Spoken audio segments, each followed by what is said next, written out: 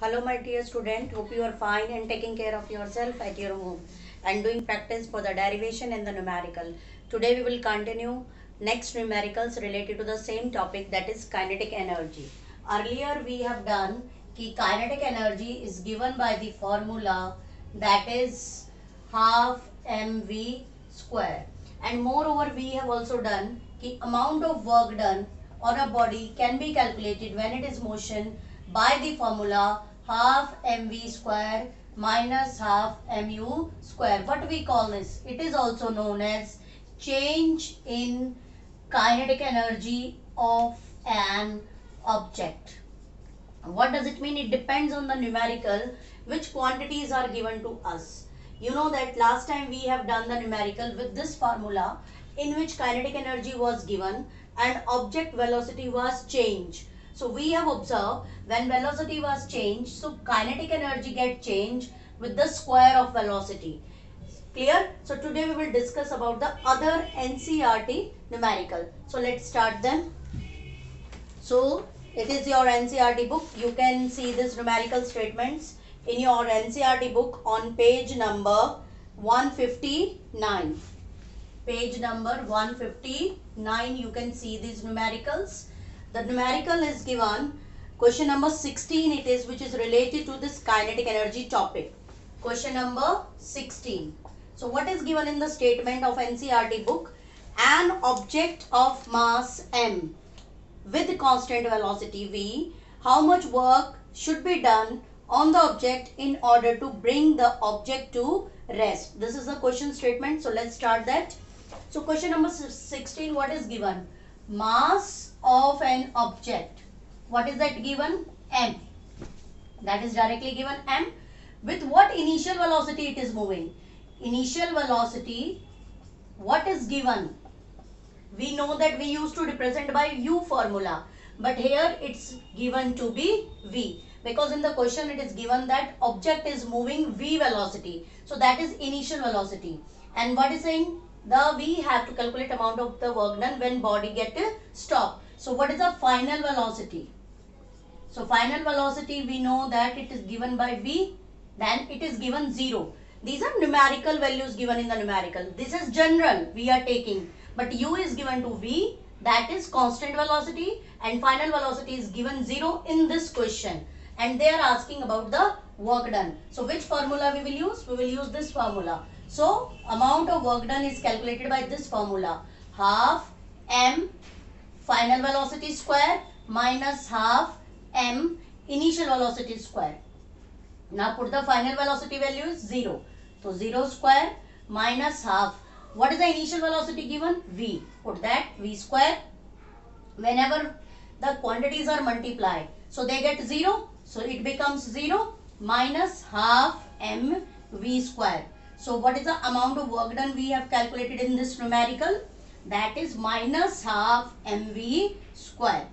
Why we have got like this formula? Because these constant values are not given. Like it is not given 5 meter per second, it is not given 100 meter per second. We are given general values and according to that we have solved and we have got amount of work done is minus half mv square.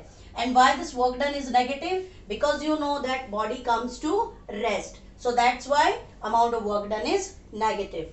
Clear? So this is the question number 16. Now let's start question number next related to kinetic energy. To question number 17. On the same page question number 17 we have to do which is also related to the same type. So that is question number 17 on the same page 159 you can see that statement. What is that? Calculate the work required to be done to stop a car of 1500 kilogram moving at a velocity of 60 kilometer per hour. So we have to stop the car. What is the mass of the car is given? Mass of car is equal to 1500 kilogram. And with what speed or velocity it is moving? So what is initial velocity? Initial velocity or initial speed of car is given u is 60 kilometer per hour. Got it?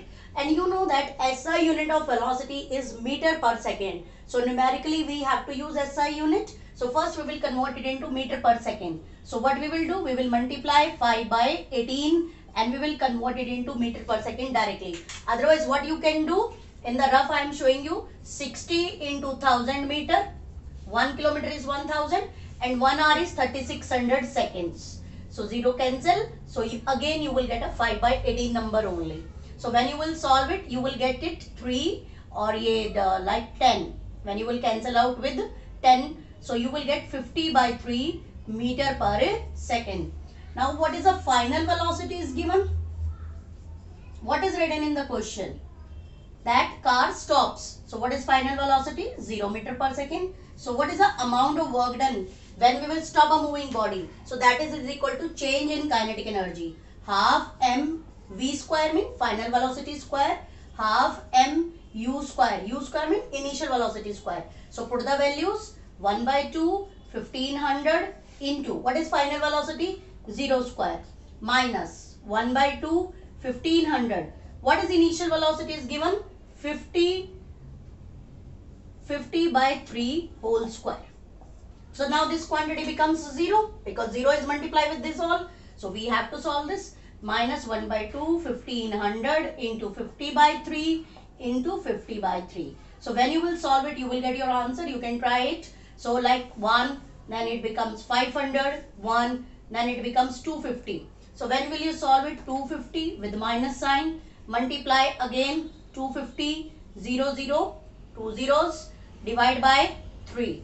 So when you will solve it, minus 625, 0, 1, 2, 1 0 and 2 zeros, 3 zeros divided by 3 joule.